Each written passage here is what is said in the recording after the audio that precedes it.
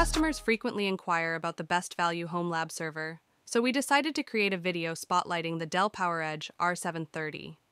At the time of recording, the Dell R730 stands out as an excellent choice for a home lab server priced below $300. The R730 comes in various configurations. The 2.5 inch drive setup ranges from 8 to 26 drives, while the 3.5 inch configuration accommodates 8 to 16 drives. In this video, we focus on the 16 bay 2.5 inch configuration, which is more than sufficient for most home lab server needs. Now, let's take a look at the back of the server. Here's the rear view of the system. On the left, you'll find the iDRAC port, serial port, SVGA port, followed by two USB ports and a Dell daughter card.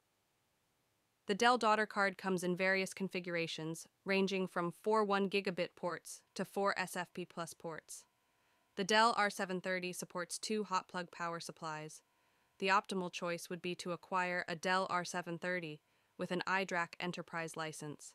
Let's take a closer look at the server's internals.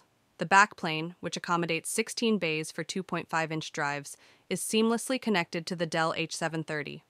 This robust system supports a variety of RAID cards, including the H730P, H730, H330, and HBA 330. With 24 memory slots, it's more than sufficient for a home lab server. The Dell R730 boasts compatibility with multiple processors, with the fastest being the E5 2699 version 4, boasting an impressive 22 cores. Additionally, this system allows for the installation of two video cards, making it highly versatile. Overall, it's an excellent value for the money.